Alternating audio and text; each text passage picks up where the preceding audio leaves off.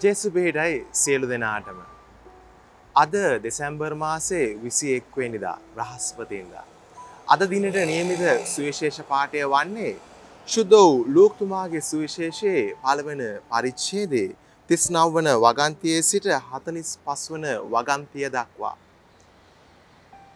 අද දවසේ මේ සුවිශේෂය තුළ අපි දකිනවා මරියතුමිය එලිසබෙත්තුමිය බැහැ දැකීම මට අනුවනම් තවත් නිහතමානී පුද්ගලයෙක් තවත් නිහතමානී පුද්ගලයෙක්ව හම්බෙන්න ගියා වගේ අවස්ථාවක්. දෙවදූතය මංගලම් කියනකොට දේව අම්මා ඒදේ නිහතමානීව භාරගත්තා. එවගේම මේ පුවත එලිසබෙත්තුමියට දැනුන් දෙන්න යනකොට මේ එලිසබෙත්තුමියත් මේ දේ මේ ආකාරයෙන්ම පිළිගත්තා. එතුමිය කියනවා මාගේ ස්වාමියන්ගේ මෑණියන් මල්ලඟට වඩින්නට මම සුදුසු නෑ කියලා එතුමිය මරියතුමීට කියනවා අද සුවිශේෂ පාටය තුළ අපි දකිනවා. මේ සුවිශේෂ පාටය මෙනය කරනකොට මට කතන්දරයක් මතක් වුණා මේක ඇත්තරම සිද්ධ වෙන්නේ අමිතා බච්චන් එහෙම නැත්නම් අපි අසල්වැසි රාජ්‍යයේ සිටින තවත් ප්‍රසිද්ධ නළුවෙක්. මෙතුම දවසක් ගුවන් යානයක ගමන් කරනකොට තමන් හිටපු හැ පැත්තේ ආසනයේ පුද්ගලයා මූ හඳුන ගත්තේ නෑ. මූ බැලුවා හැමෝ මන්දිහා බලන කුතුහලෙන් බලංඉන්න කතා කරන්න නමුත් මේ පුද්ගලයා හඳුන ගත්තේ නෑ මොහු කවුද කියලා.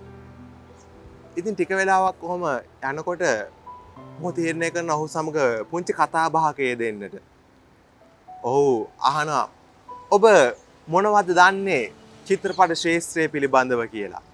එ මහනකොට ඔහු කියනවා ම වැඩේ නන් දන්නෑ ඉඳල හිටල නං චිත්‍රපටියක් බලනවා මෙහෙම තමයි ඔහුගේ පිළිතුර වන්නේ.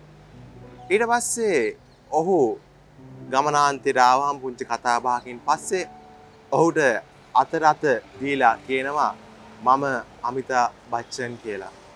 ඒත්තකම ඔහුත් සිනාසුළු මුහුණින් ඔහුට කියනවා මම තමයි ටාටා කියලා. හෙමත් නැත්නම් ඔහු තමයි ටාටා එම් ආයතනයේ අධිපතිතුමා.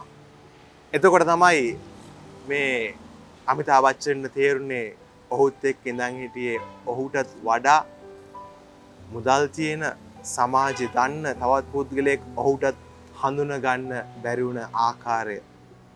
ඔහු නිහතමානය වනා ඒදේ තමගේ ජීවිතය තුළ පිළිගන්නසා මේ කතාව මේ ආකාරයෙන් අනිත් සම් අයත් සමඟ බෙදාගන්නට.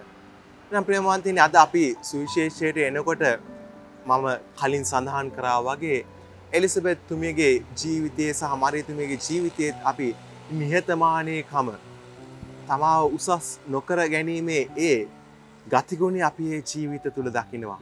නම් ඒ ගතිගුණේ අපේ ජීවිතවලටත් ගොඩාක් වැදගත් වෙනවා. අපිත් නිහතමානී වෙන්නට ඕන. ස්වාමින් වහන්සේ ඉදිරි අපිට දිලදෙන වරප්‍රසාද වලින් අපේ හිස උදුම්මවා ගන්නට නෙමෙයි. නිහතමානීවක බාර ගන්න. තව කෙනෙක්ගේ ජීවිත තුළ අපි ඒ ගුණාංග දැක්කාම ඒවා පිළිගන්නට ඒවා අගය කරන්නට උන්වහන්සේ අපිට ආරාධනා කරන එසේන අප දවස්සේද අපි යාශනා කරමු. මේ දේවාම්මගේ එලිසිබෙත්තුමගේ ජීවිතය තියෙන නීතමානයේ ගතිගුණ අපේ ජීවිතවලත් වර්ධනය කරගෙන ස්වාමින් වහන්සේගේ ආදරය නැතුන දෙවියන් වහන්සේගේ ආදරයට ලංවන්නට අප සුදුස්සන් බවට පත් කරන්නටයි කියලා අද දවස්සේදී අපි ආශ්නා කරමු සියලු දෙනාටම ජේසු පීටයි.